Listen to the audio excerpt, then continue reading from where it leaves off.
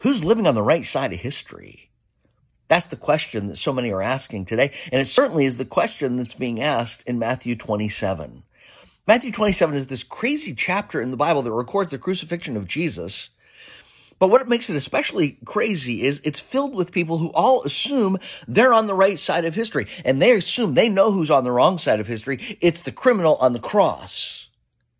And yet we know the one who looks defeated is the victor. The one who suffers is the savior.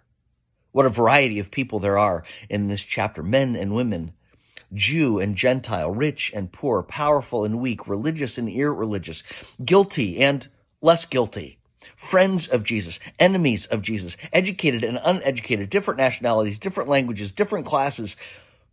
But the question that really matters is who's on the side of Jesus? The next time you get the heebie jeebies about being on the right side of history, remember Matthew 27. Remember Jesus on the cross. Things are not always as they appear to be.